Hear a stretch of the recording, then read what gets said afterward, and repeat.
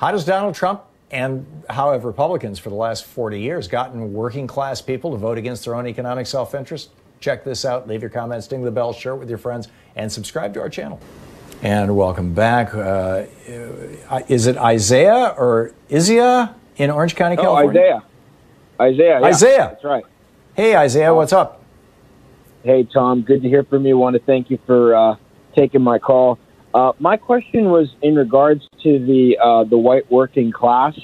Um, why is it that they overwhelmingly you know, vote against their own economic interests? Like, I have a really hard time wrapping my head around that because, I mean, you remember Obama's tax plans. He said, "I'm not going to raise taxes on anybody making over two hundred fifty thousand.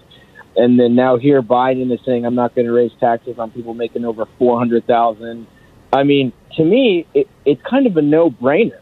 I mean, who's really in favor of like the working class, regardless of what your skin color is? And for some reason, I just can't understand why is it that they're over, well, they were overwhelmingly for Trump in 16. They're saying now that Biden is e- eating into that, but still, Trump is projected to win whites without a college degree by a pretty, you know, healthy margin. I'm, I'm wondering why is it you think that is?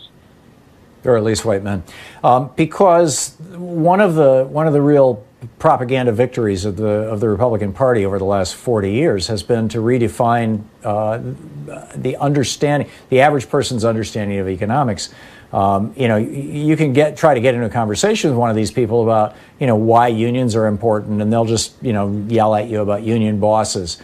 Uh, you know, or you know why why uh, Trump's taxation policies aren't benefiting them, things like that. The main the main message that has been communicated to white middle class working class voters over the last 40 years, first by Reagan when you know, when he started his campaign with his whole thing about um, he had two two little speeches that he was giving in the 1980 election. One was about the the uh, welfare queen who drove a pink Cadillac and had a hundred different Social Security accounts. She literally did not exist. He just made it. He or or Lee Atwater, or somebody made this up out of whole cloth. And then the second story that Reagan used to tell was, um, you know, he would say, "How do you feel?" Sometimes he would tell it as if it happened, and other times he would ask it as a rhetorical question. How do you feel when you're standing in line at the supermarket and some young buck, which of course means a young black man, um, is standing in front of you with uh, a whole bunch of uh, steak and beer and paying for it with food stamps? And so the message that the Republicans have very effectively planted in the brains of white working class people across this country is that black people are freeloaders and brown people, Hispanics, are stealing your jobs. Now, prior to the 1980s, they were saying black people are stealing your jobs. Um, you know, they pretty much stopped saying that and went with the black people are lazy and they're, and they're just going to have riots um, with the Reagan administration. That became kind of the official message of Republicans during the Reagan administration. And, and, and, and it's brown people who want to steal your jobs.